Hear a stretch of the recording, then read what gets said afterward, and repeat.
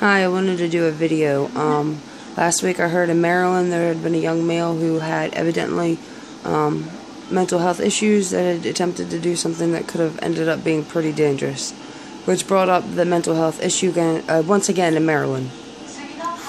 The media and the people, I guess, who want to portray Maryland as such a great state want to state that it's difficult for a person to get mental health treatment when they're not seeking it that may be true, but the truth is, is the same time that all this was going down, in the same state, I was seeking help. I have an anxiety disorder, I have panic attacks, and it leads to a lot of phobias and stuff, and it can become non functional. I left a state where I had a treatment plan and thought that moving to Maryland I would be successful in maintaining that treatment plan, but unfortunately, trying to find mental health people to help you in this state is extremely difficult.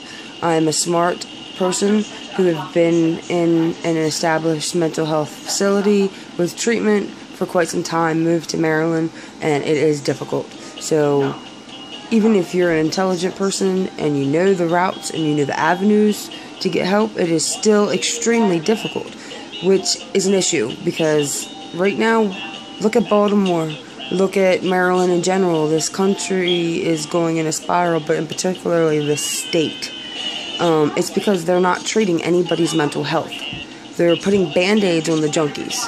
They're giving junkies Suboxones.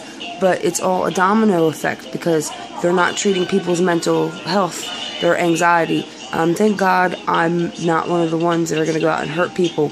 But if I had a serious mental illness and I was living in Maryland, I could very well um, be swept under the rugs and not treated. And I may very well want help but in Maryland, you can't get it. So don't let the news bullshit you.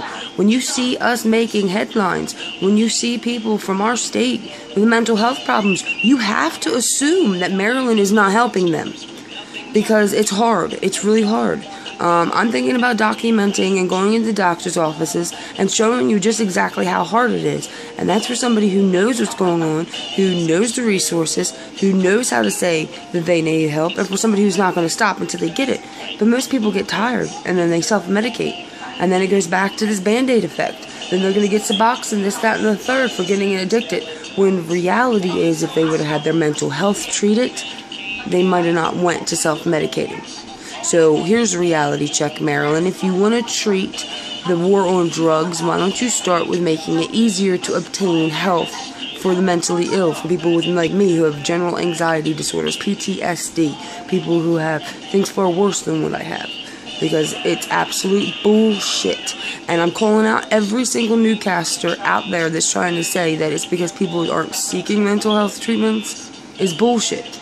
Now, Obama or whoever stupid, dumb fucking president out there, you need to address this. But not only just that, Maryland, what are you doing? Delaware is doing so much better than you, and it's a smaller state. Um, granted, you might have more people, but you're not going to stop any of this bullshit. You're not going to stop the drugs. You're not going to stop any of the violence unless you get a reality check.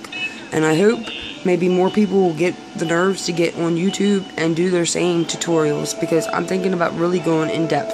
Taking this phone into doctor's appointments, taking it into the emergency room when I have my panic attacks and feeling like I'm going to just die. And you, you'll see. Because not only are they not treating, it, it, they're not even addressing it. If I would have went in there saying I was addicted to heroin, they'd be helping me out a lot better, and that's retarded because I never chose to go that route for a reason. I have morals no matter how sick I am and no matter how freaking anxious I get. I will never go to the streets to self medicate. But with that said, there's many other people who don't have that willpower.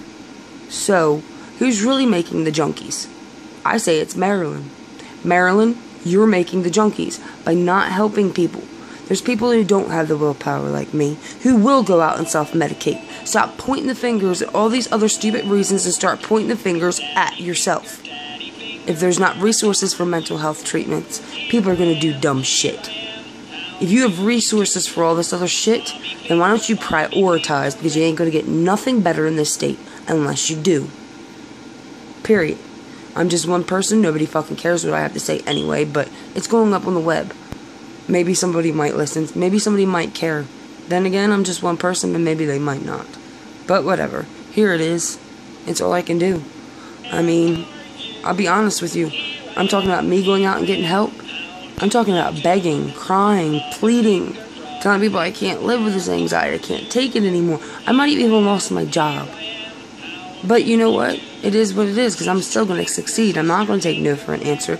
And if I have to use my experience with all the pain and struggle I have to go through, then maybe it might help others in my boat not self medicate. Because it seems like maybe it's us against everybody else because they want to help the junkies, but they don't give a shit about us.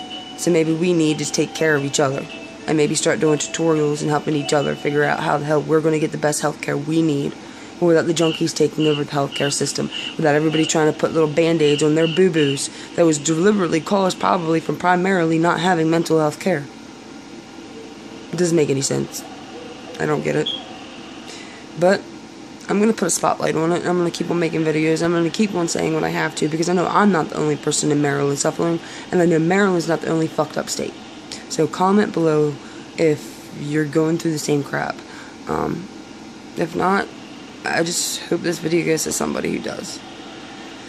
Alrighty, well that's enough of me just sitting here bitching and telling you what I think. Um, let's see if it makes a difference.